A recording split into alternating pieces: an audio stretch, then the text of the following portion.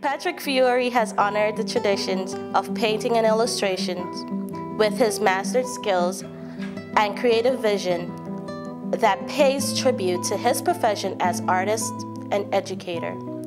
His passionate activism for art as the ultimate expression of life experiences across the generations of America and his engagement of students and adults is a continuous reminder of what it is America and what we should honor and learn from the lives of the people. To live in and be American is to live in a way of life that continuously reshapes itself to form our nation in the present.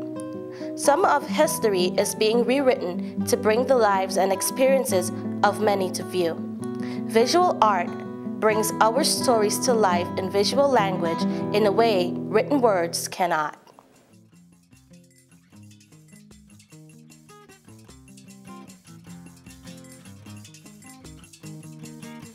The sketch that I'm working on is based on reference related to um, coal mining in America.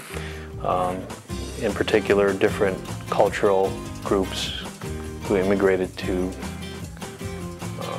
different parts of the country, mostly northeast, and different mining that was done relative to them. This sketch in particular, um, I'm being developing out of warm and cool colors just as an underpainting, and I'll alternate from this palette of basically orange, blue, or burnt sienna and blue mixing to the neutral to create different aspects of light and also local color.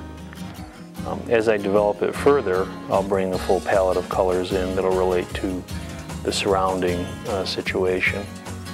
But right now I'm just trying to develop the expression um, and a little bit of the uh, reflective color. Well, initially, um, with the development of these characters, I'm using real models. Um, really looking for people culturally or ethnically correct for the situation, so there's that accuracy. Um, and hiring models. Uh, usually I work from a sketch first, where I'm uh, basically um, coming up with the concept and then actually shooting the photography based on my sketch. So the photography is never anything that pushes the project, the drawing comes first. Howard Zinn is usually remembered for the book that he wrote, The, uh, the People's History of the United States. But we should remember that he wrote many other things. In one of his most recent books, um, before he passed away, was You Can't Be Neutral on a Moving Train. And I think in some ways this symbolizes the life of Howard Zinn. That is, Howard Zinn was never neutral. Howard Zinn always took a stance. Howard Zinn always made his voice heard and tried to encourage other people to make their voices heard.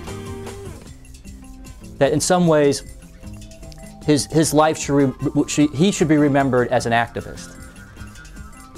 Recently, I showed a short interview um, that was online to a group of students in my course on historical methods to get them to think about the uses of history and to think about Howard Zinn's position um, that history could also be, be used or employed to somehow make a change, not just to tell what happened in the past, which of course is what he is doing, but to challenge the way we understand the past and to think about it and to think about our lives today and make and use history and the way we view history to improve the world we live in right now.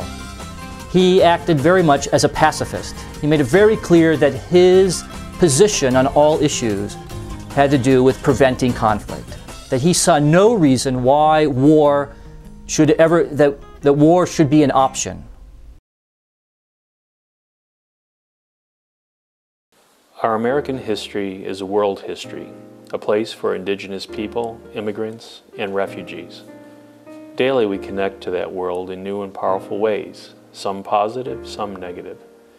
We have an opportunity to establish a creative life that honors the individual and makes living a sustainable act by learning who we are, where we came from, how we are connected and how we can contribute to our communities near and far.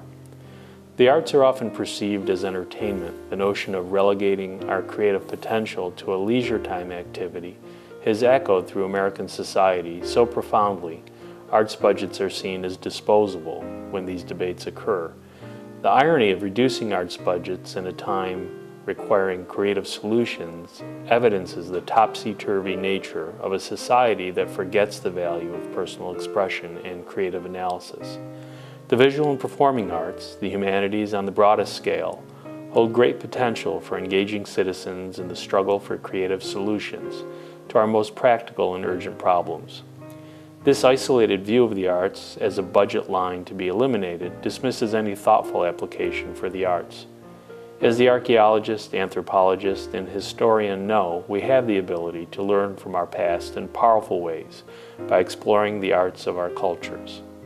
The rich heritage of people and places, history and families can be brought forward to build pride, beginning with very modest acts, especially with children through creative, expressive outlets. Often neglected and abandoned communities, some perceived as a liability, hold rich reserves of culture by excavating those hidden abilities, individuals and communities expose a wealth of opportunities reframed. Artistic expression may offer the spark that illuminates a less direct but no less productive path to rebuilding communities.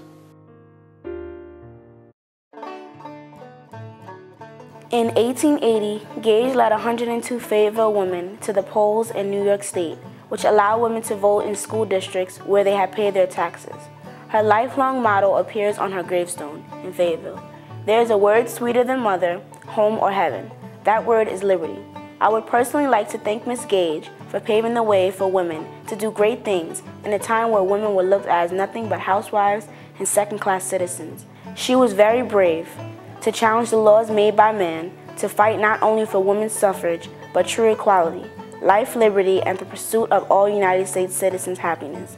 I want to thank women like Miss Gage, for being brave, risking all they had to earn equality for women, which makes the study of women's history possible. She was a courageous and smart woman who will be remembered not only for her great deeds, but her nobility.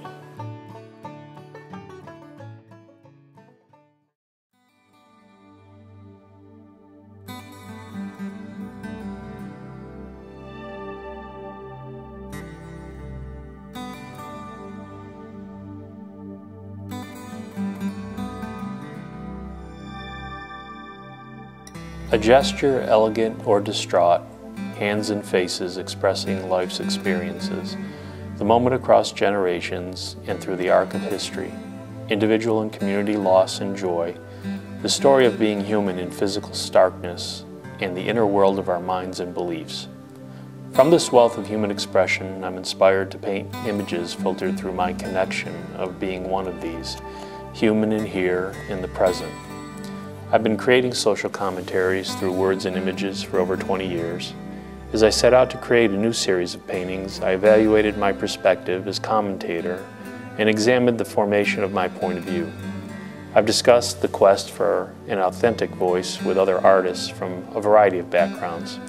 It became clear through these dialogues that art could transcend personal identity to a human voice, one in common with all our experiences, I had been driven by that same polemic.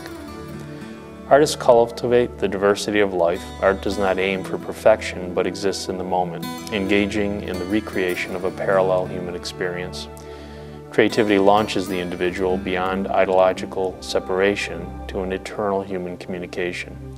Art exists as a social entity reflecting humanity and nature, while nourishing without regard to historical period or culture. This journey often leads to a redefinition of problems that have remained elusive to our understanding and are beyond our knowledge.